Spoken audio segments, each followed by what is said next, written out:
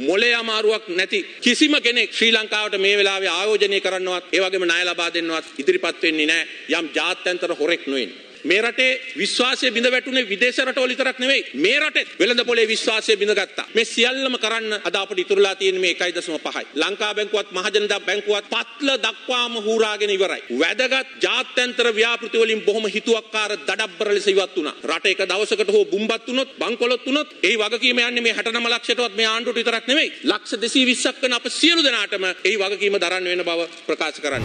කරු කතානායකතුමනි අද පවතින මේ මූල්‍ය අර්බුදය මේක සංගවල වැඩක් නෑ මේ මූල්‍ය අර්බුදය ගැන අපි විටින් විට අවස්ථාවෙන් අවස්ථාව අනතුරු ඇඟවුවා මේ මූල්‍ය අර්බුදය හිටපු කරු අග්‍රාමාත්තුමා කිව්වා වගේ අද මේ වෙනකොට අපේ සංචිත ප්‍රමාණය ඩොලර් මිලියන 1500ට වැටලා තියෙනවා. අය මතක තියාගන්න ඕනි ලබන ජනවාරි මාසේ අපට තියෙනවා අන්තර්ජාතික ස්වෛරී බැඳුම්කරයක් පියවන්න ISB එකක් ඩොලර් මිලියන් 500ක. ඒ වගේම මේ ඉදිරි මාස 7 ඇතුළත අපට තියෙනවා ISB සහ ඒ වගේම ශ්‍රී ලංකා ඩෙවලොප්මන්ට් බොන්ඩ්ස් හැටියට තියෙන ඒ පුජ්‍යලික අංශයෙන් ලබාගත් වාණිජ ණය ඩොලර් මිලියන 2900ක් පියවන්න තියෙනවා. මේ දෙදස් නමසීයයි ලබන වසරේ ගෙවන්න තියෙන පොදු ණය ප්‍රමාණය වෙච්ච ඩොලර් බිලියන 7යි මේ සියල්ලම කරන්න අද අපිට ඉතුරුලා තියෙන මේ 1.5යි. ඒ අනුව අනිවාර්යයෙන්ම මේ විදේශ විනිමය අර්බුදයක් කරා ගමන් කරනවා. ඒක තමයි මුලින් වාහන ගෙන්වීම නතර කළා. ඒ වගේම අත්‍යවශ්‍ය භාණ්ඩ 600 ගාණක් නතර කළා. පොහොර හා රසායන ද්‍රව්‍ය ගෙන්වීම නතර කළා. ඒ වගේම ඇතැම් ඖෂධ වර්ග ගෙන්වීමට බාධා පැමිණුණා. ඉන්ධන ආදියට බාධා පැමිණුණා. ඒ විතරක් නෙවෙයි අද තියෙන ප්‍රශ්නේ. මේ ණයවර ලිපි ලංකා බැංකුව මහජන බැංකුව නිකුත් කළාට වැඩක් නැහැ. මේ ණයවර ලිපි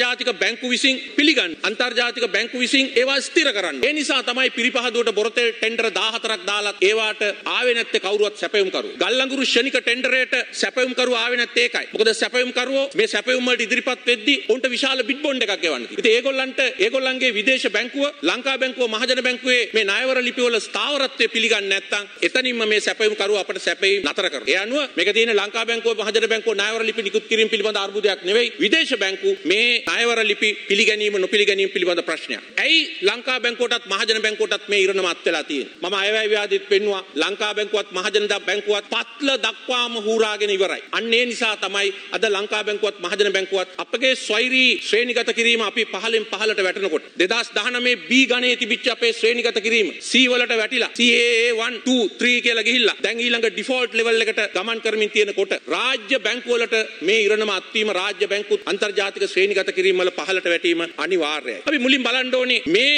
මූල්‍ය අර්බුදයේ මූලයන් මොනවද කියලා. මේ මූල්‍ය අර්බුදයේ මූලයන් ගත්තොත් අපිට පේනවා අද ඇති වෙලා තියෙන ප්‍රශ්නය මේ විදේශ ණය ආපසු ගෙවා ගැනීමේ අර්බුදය. මේකට හේතු ගණනාවක් තියෙනවා. පළවෙනි එක අපි කවුරුත් පිළිගන්න ඕනේ කොවිඩ් නිසා ඇති වෙලා තියෙන ජාත්‍යන්තර හා ජාතික තත්ත්ව. හැබැයි ඒක එකම හේතුව නෙවෙයි. කොවිඩ් නිසා සංචාරක ව්‍යාපාරය අඩපණ වුණේ අපේ රටේ විතරක් නෙවෙයි. මාලදිවයිනේ අඩපණ වුණා. තායිලන්තේ අඩපණ වුණා. ඒ කිසි රටක ලංකාවේ වැනි ප්‍රශ්නයක් මතුවෙලා නැහැ. ඒ වගේම විදේශ ශ්‍රමිකයන්ගේ සම්ප්‍රේෂණ අපිට වඩා වැඩියෙන් ලබා ගන්න බංගලි දේශයේ ඇඟලුම් ශේෂ්ත්‍රය අපට වඩා වැඩියෙන් ලබා ගන්න බංගලි දේශයේ මෙවැනි අර්බුදයක් පැන නැගිලා නැහැ. එහෙනම් අපේ සුවිශේෂී ප්‍රශ්නයක් තියෙනවා. ඒක අපි පළමුව අවබෝධ කරගත යුතුයි. කොවිඩ් වලට මුවා වෙන්න කලින් අපි ඇත්තම ප්‍රශ්නය අවබෝධ කරගත යුතුයි. ඒකේ ප්‍රධානම කරුණු දෙකක් තියෙනවා. එකක් මේ ආණ්ඩුව විසින් අනුගමනය කරපු මූල්‍ය ප්‍රතිපත්තිය. මේ ජනාධිපතිතුමා බලයට පත් වෙලා දින 15ක් යනකොට මේ රටේ ඉහළම ධන කුවේරයින්ට ඉහළම ගණේ බදු සහනයක් ලබා දුන්නා. ඒ මගින් රාජ්‍ය ආදායමේ 140ක් අහිමි කරගත්තා. ඒ ඒ හරහා ලෝකයටත් රටටත් වෙළඳපොළටත් ලබා දුන් පණිවිඩය තමයි ලංකාවට දැන් ණය ගෙවා ගැනීමේ හැකියාවක් නැති බව. ඒ නිසා අපි එතනින් පහළට ගමන් කළා. ඒ වගේම කොවිඩ් මර්ධනය ගැන ඉහළින් කතා කළාට කොවිඩ් මර්ධන ඉතාම අවිද්‍යාත්මකව කළේ. විශේෂයෙන්ම මේ රටේ වැඩ කරන ජනතාව අපනයන ශේෂ්ත්‍රයේ කම්හල්වල ඒ සියලුම දෙනා එකඟ වුණා 2020 නොවැම්බර් මාසෙදී තමන්ගේ වැඩ කරන ජනතාව තමන්ගේ වියදමින් ඒ අය එන්නත් කරණය කරන්න. ඒ සඳහා ඩොලර් මිලියන 30ක් ඒ සමාගම් විසින් ලබා දෙන්න කටයුතු කළා. මොකක්ද ආණ්ඩුවේ ප්‍රතිචාරය? ආණ්ඩුවේ ප්‍රතිචාරය තමයි නෑ අපි කරන්න යනවායි කියලා. මොනවද අපි කළේ? අපි කළේ ධම්මික පැණියයි අර කලගෙඩි සෙල්ලමයි නට නට අපි මාස ගාණක් ආපස්සට ගියා. මේ රටේ අද ඇති වෙච්ච මේ කොවිඩ් වසංගතයේ ව්‍යාප්තියට දැඩි ලෙස දරුණු ලෙස බලපෑවා ෆැක්ටරි කම්කරුවන්ගේ ඒ සේවාවන් ලබා ගැනීම ඒ ශේෂ්ත්‍රයේ හරහා තමයි මේ පැතිරීම සිද්ධ වෙන විශාල වශයෙන් බලපෑවේ. ඇත්තරම එන්නත එන්නත් තුනක් 2020 නොවැම්බර් මාසේ සොයාගත්තා. ඒ එන්නත් 20 සොයාගන්නකොට ලංකාවේ මියගිය ප්‍රමාණය 200කට ආසන්න ප්‍රමාණයක්. ඒවා විධිමත් විදියට මුල් මාස 3 4 ලබා දෙන්න කටයුතු කළා නම් මේ 14 දහගේ ජීවිත විතරක් නෙවෙයි අද මේ රටේ පත් වෙලා තියෙන මේ ආර්ථික තත්ත්වෙනුත් අපිට ගැලවෙන්න ඉඩ කඩ තිබුණා. ඒ වගේම අපි 2016 මූල්‍ය අරමුදලේ සරණට ගියා. මේ මූල්‍ය අරමුදලේ සරණ ගැන කියනකොට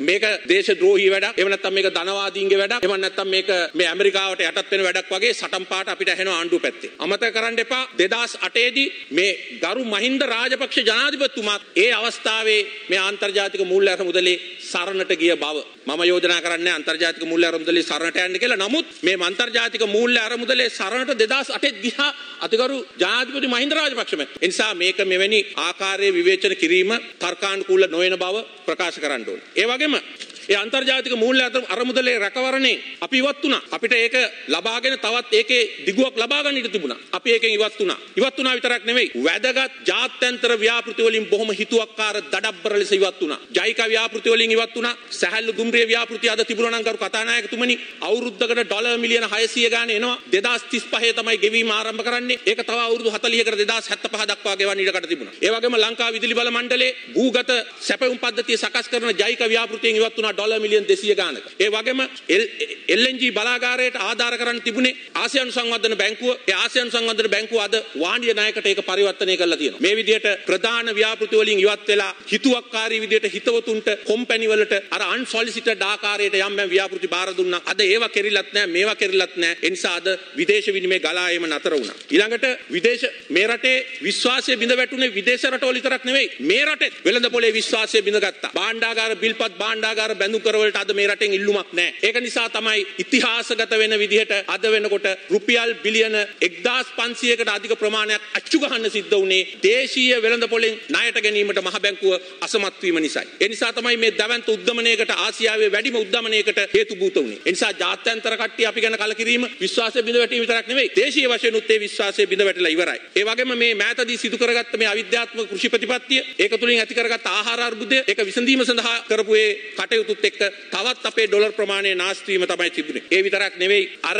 පැරණි ගසා කෑම අර පැරණි සංවර්ධන ව්‍යාපෘති වලින් ගසා කෑම අපි දැක්ක සුදු ලියුණු බිකේ ඉඳන් ඒ වගේම සීනි ටිකට තෙල් ටිකට ඒ වගේම නැනෝ පොහොරට ඇතුළු සෑම ක්ෂේත්‍රයකම අපිට මේක දැක ගන්න ලැබුණා. මේවා තුලින් මොකද වෙන්නේ? මේවා තුලින් මේ රට නීතිය ක්‍රියාත්මක වෙන තැනක් නෙවෙයි. මේ රටේ වෙළඳපොළ පිළිබඳ විශ්වාසය බිඳ වැටීමත් අපි ශ්‍රේණිගත වීම වල පහලින් පහලට යාමත් අපට ණය දෙන්න කිසිම ආකාරයක පිරිසක් ඉදිරිපත් නොවීමක් සිද්ධ වෙනවා. අපිට ඇහුණ රස කතා බිලියන 2.6ක් ගේනවා කිව්වා. 3.6ක් ඕමානයෙන් ගේනවා කිව්වා. මේ වගේ නොයෙක් කතා අපිට ඇහුණා. ඒවා දැන් හුදු කතන්දර විතරයි. මම හිතන්නේ මොලේ අමාරුවක් නැති කිසිම කෙනෙක් ශ්‍රී ලංකාවට මේ වෙලාවේ ආයෝජනය කරන්නවත් ඒ වගේම ණය ලබා දෙන්නවත් ඉදිරිපත් වෙන්නේ නැහැ යම් ජාත්‍යන්තර හොරෙක් නොවෙන්න. ඒක නිසා අපි මේ පත් වෙලා තියෙන අර්බුදයේ පක්ෂ විපක්ෂ ભેදෙන් තොරව අවබෝධ කරගත යුතුයි. එම අවබෝධ කරගත්තොත් විතරයි අපිට විසඳුම් හොයන්න වෙන්නේ. මොකද මේ ආර්ථිකය කඩා වැටුනොත් රට එක දවසකට හෝ බුම්බත් වුනොත් බංකොලොත් වුනොත් ඒ වගකීම යන්නේ මේ 69 ලක්ෂයටවත් මේ ආණ්ඩුවට විතරක් නෙවෙයි. ලක්ෂ 220ක් වෙන අප සියලු දෙනාටම ඒ වගකීම දරන්න වෙන බව ප්‍රකාශ කරන්න ඕනේ.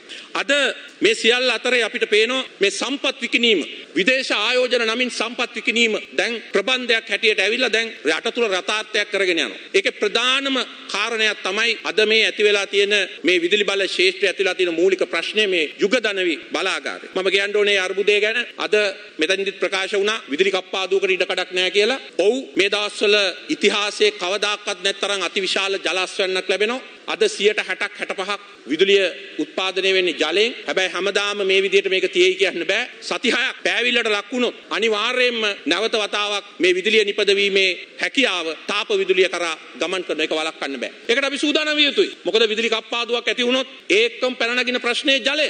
ජලය ලබා දෙන්නේ කොහොමද කියන්නේ? වෙනදා නම් විදුලි කප්පාදුවක් ඇති වුණොත් අපිට පුළුවන් අපේ පෞද්ගලික ජනන යන්ත්‍ර ක්‍රියාත්මක කරන්න. මේ පෞද්ගලික ජනන යන්ත්‍ර ක්‍රියාත්මක කරන්නත් ඩීසල් එහෙම නැත්නම් භූමි තෙල් අපි ආනයනය කළ යුතු වෙනවා. ඒ නිසා මේ අර්බුදය ගැන විධිමත් ලෙස කල්පනා නොකළොත් අපි අපි මේක පුරෝකථනය කරලා කටයුතු නොකළොත් අපිට බරපතල ප්‍රශ්න ගණනාවකට ලක් වෙන්න වෙනවා. මොකද දැනටමත් ගල්ලංගුරු ගෙන්නන්නේ 150ක් ක්ෂණික මේ වශයෙන් තව 150ක් දීර්ඝ කාලීන ටෙන්ඩරේ. දීර්ඝ කාලීන ටෙන්ඩරේ විතරයි ක්‍රියාත්මක වෙලා තියෙන ක්ෂණික ටෙන්ඩරේට සැපයුම් කරුවන් නැහැයි කියලා දැන් පහුගිය දවස්වල අපිට වාර්තා වුණා. ඒ කියන්නේ 150ක් ගල්ලංගුරු වලින් දුවන්න බෑ. මොකද 150ක්ම මේ රටේ හදිසි තත්වයක් යටතේ දුවන්න තියෙන එකම බලාගාරය පුත්තලම ගල්ලංගුරු බලාගාරය පමණයි. ඒතර ඒ බලාගාරයට ගල්ලංගුරු සැපයුම අවම වුණොත් රට තුල විදුලි කප්පාදුවක් අනිවාර්ය වෙනවා. ඒක කෙලින්ම ජල සැපයුමට බාධා පමුණවනවා. ජලයට බාධා පමුණවනවා. ජන ජීවිතයට බාධා පමුණවනවා. ආර්ථිකය කඩා බිඳ දමන්න බාධා පමුණවනවා. ඒ නිසා අපි මතක තියාගන්න ඕන අපි ගමන් කරමින් තියෙන්නේ ලෙබනනේ දෙසට.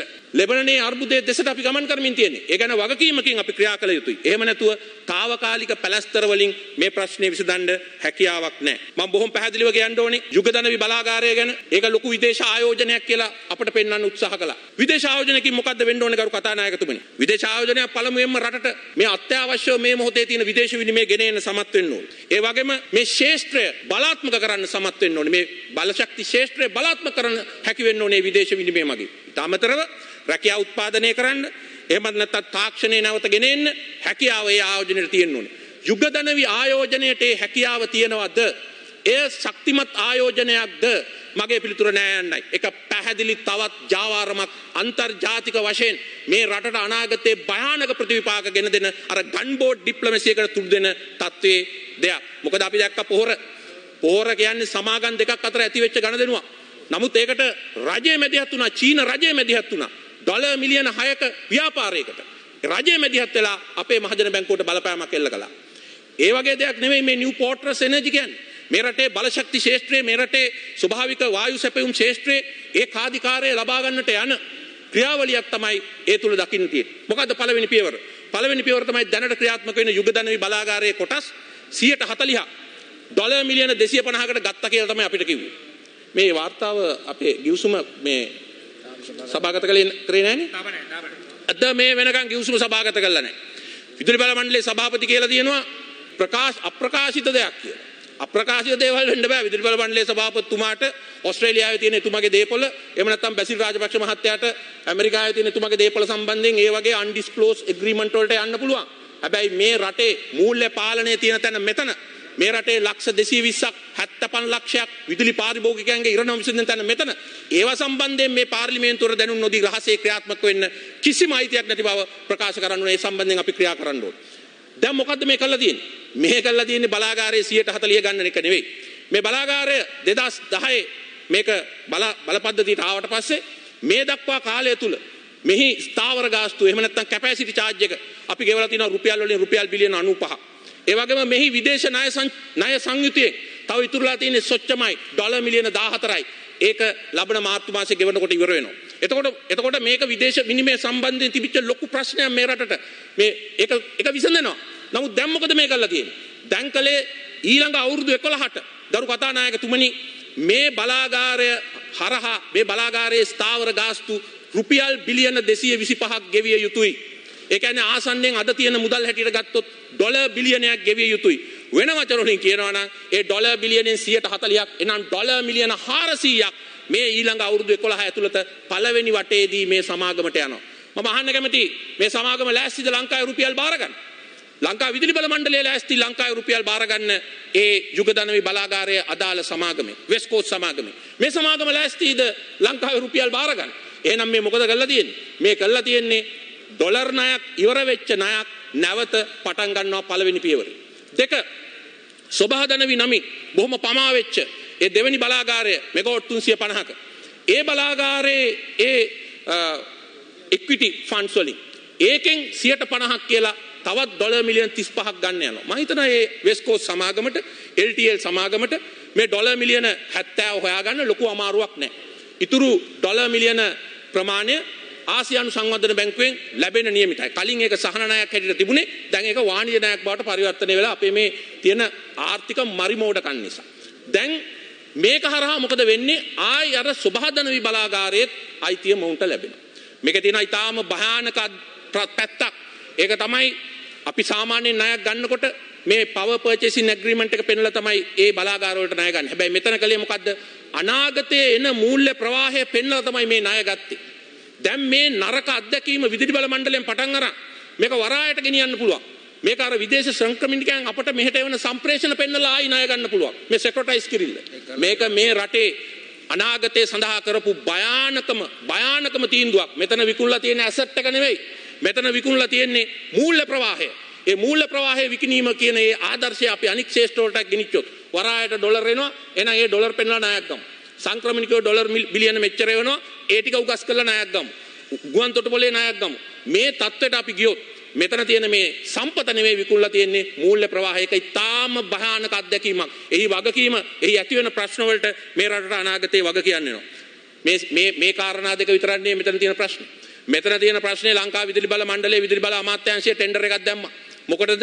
ගෑස් සැපයුමට ගෑස් සැපයුම කරන මුහුදේ තියෙන පාවෙන ගෑස් ගබඩාවට නල පද්ධතියට කන්තේ නීතික සංස්ථාවත් එක්ක. ඒ හරහා ඒ ටෙන්ඩරය මේ ස්වාගෙන යනකොට ඒ ප්‍රසම්පාදන ක්‍රියාවලිය කෙරීගෙන යනකොට ඒකට මැද්දෙන් පැනලා ඉහලින් ඇවිල්ලා මේක යොදලා තියෙනවා. මොකද්ද මේ? ඒ සමාගම එහෙම ආයෝජනයකට එනවා නම් ඒගොල්ලන්ට කියන්න තුනේ ප්‍රසම්පාදන ක්‍රියාවලියට එන්න කියලා. ඇවිල්ලා තරඟකාරී මට්ටමින් මේක ගැන හොයලා බලන්න කියලා. ඇයි එහෙම ආවේ නැත්තේ? එහෙම ආවේ නැත්තේ මේ සමාගමේ මූල්‍ය ශේෂපත්‍රය අරන් බැලුවම කරු කතානායකතුමනි ඇමරිකා එක්සත් ජනපදයේ මේ සමාගම පාඩු පිට පාඩු ලබලා තියෙනවා. මේ සමාගම ගිය අවුරුද්දේ ගත්ත ඩොලර් මිලියන 800ක ණයක්. ලයිබෝ ප්ලස් 6.65 වලට.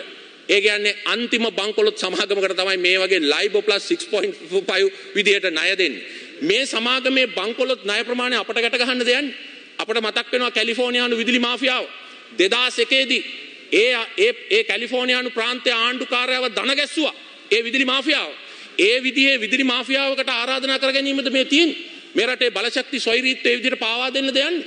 ඒගොල්ලන්ට එන්න කියන තුන ප්‍රසම්පාදන ක්‍රියාවලියට ඇවිල්ලා කරන්න තුන. මොකද්ද කියන්නේ?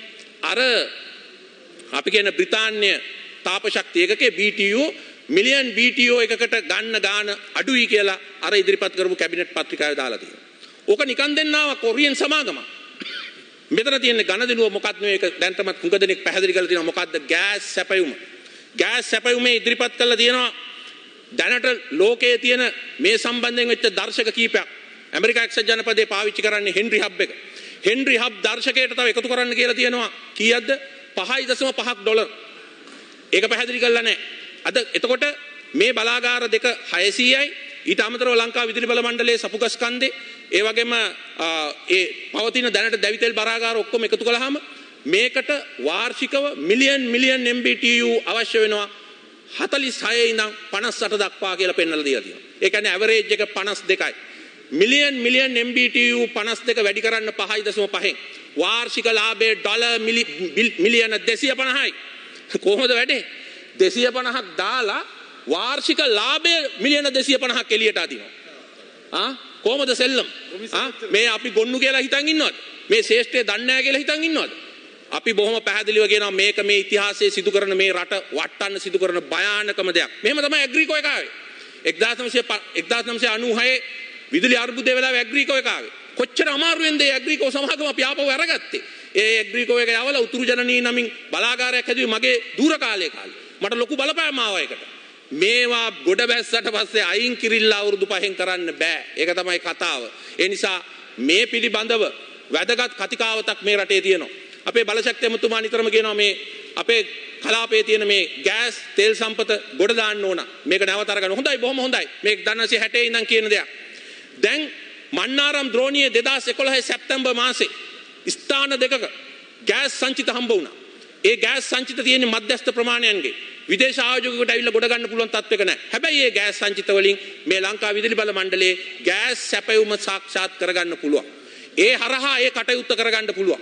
එතකොට මේ රටේ ගෑස් සම්පත අපි පාවිච්චි කරන්න යනවනම් ඒකට ඉන්න ප්‍රධානම පාරිභෝගිකයා තමයි ලංකා විදුලි බල මණ්ඩලය. ඒ ආකාරයට අපි කටයුතු කළා නම් ඒට අවශ්‍ය වෙන ආයෝජනය අපි කළා නම් අපිට අනිවාර්යයෙන්ම මේ රටේ මේ ගෑස් සංචිත පිළිබඳ මේ අර්බුදය මේ තියෙන ගෑස් පිළිබඳ ප්‍රශ්නය පිළිබඳ ස්වයං ප්‍රතිෂ්ඨාවය මේ බලශක්ති සුරක්ෂිතතාවය කරු මන්තුමා උතන විනාඩි දෙකයි තව තියෙන්නේ. බලශක්ති අවශ්‍යතාවය අපිට ඉටු කරගන්න තිබුණ කරු කතානායකතුමනි. ඒ නිසා එක පැත්තකින් ආණ්ඩුව කියනවා රටේ ගෑස් සම්පත හොයාගෙන යනවා ගෑස් සම්පතෙන් ප්‍රයෝජන ගන්නවා කියලා. ආණ්ඩුවේ අනිත් පැත්ත කරන්නේ මොකද්ද? ගෑස් සම්පත ඇමරිකා එක්සත් ජනපදයේ මේ අප්‍රිකාවෙන් ගෑස් ගෙන්නන්න යනවා තුට්ටු දෙකට. මෙන්න මේක තමයි අද අපිට දැක ගන්න ලැබෙන මේ විසංවාදය. ඒ නිසා මේ යුගදනවි ඩීල් එක පැහැදිලි මෙගා ඩීල් එකක් මේ ඩීල් එක කිසිසේත්ම මේ රටේ බලශක්ති සුරක්ෂිත භාවයටවත් මේ රටේ විදේශ විනිමය ආයෝජනයටවත් ඒ වගේම මේ රටේ රැකියා උත්පාදනයට අනිකුත් ක්ෂේත්‍ර වලටත් ලංකා විදුලි බල මණ්ඩලයටවත් ඒ වගේම මේ රටේ අනාගතයටවත් කිසිම ආකාරයකින් දායක වෙන දෙයක් නෙවෙයි. ඒ වගේම මම කියන්න ඕනි මේ හා බැඳිලා මේ විදේශ විනිමය අර්බුදයත් එක්ක බැඳිලා ඉන්ධන අර්බුදයක් මතු වුණොත් ඒ ඉන්ධන අර්බුදය හරහා රටේ ආර්ථිකය ආපසු හරවාගත නොහැකි තත්වයකට පත් වුණොත් ඒක ඉතාමත්ම භයානක දෙයක් වෙනවා. ගරු කතානායකතුමනි ග්‍රීසිය 2011 දී බංකොලොත් වුණා. හතර වතාවක් ආණ්ඩු මාරු වුණා. විවිධ ආකාරයේ සංධාන බිහි වුණා. ලොකු ජර්මනිය යුරෝපයේ ලොකු රටවල් ඒ පිටිපස්සේ හිටියත් ඒ රට ගොඩ ගන්න අවුරුදු ගණනාවක් ගත වුණා. අද ලෙබනනයට ඉරණම අත් වෙලා තියෙනවා. ලෙබනනේ ගලවා ගන්න අරාබි ලෝකයේ ධනවත් රටවල් ඉදිරිපත් වෙලා නැහැ. ඒ රටවල් වලට කරන්න පුළුවන් දෙයක්වත් නැහැ. ඒ නිසා මේ අපිව ගලව ගන්න අහවල් රටේයි අහවල් රටේයි කියලා අපි කල්පනා කරලා වැඩක් නැහැ. අපි මේ පාර්ලිමේන්තුවේ වක්කීම තියෙනවා පාර්ලිමේන්තුවේ 148 වෙනි ව්‍යවස්ථාවේ වගන්තිය අනුව මේ අර්බුදයට විසඳුම් හොයන්න. ඒ නිසා අපි මේ රට බංකොලොත් වෙයිද අපි කරනවා කියන ආඩම්බර ප්‍රකාශ නෙවෙයි මේ බංකොලොත් වීම කරා ඉන්ධන අර්බුදයක් කරා ගමන් කරමින් තියෙන මේ රටට නිශ්චිත විසඳුම් වලියක් අයවැයෙන් අපි බලාපොරොත්තු වුණා ගරු මුදල් ඇමතුමාගෙන් ඒක සිද්ධ වුණේ නැහැ නිශ්චිත විසඳුම් වලියක් ලබා දෙන්න නැත්තම් ඡන්දය දීපු 69 ලක්ෂයයි මේ පැත්තට ඡන්ද දීපු 55 ලක්ෂයයි අනික් කට්ටිය නෙමෙයි මේ ලක්ෂ 220ම අනාගතය. ඒ වගේම මේ රට දාලා යන්න පෙළ ගැහිලා ඉන්න අපේ දරුවන්ගේ අනාගතය වෙනුවෙන් ඒ කටයුත්තට නිශ්චිත යෝජනාවලියක් ඉදිරිපත් කරන ලෙස මේ ගරු සභාවෙන් මම ඉල්ලා සිටිනවා.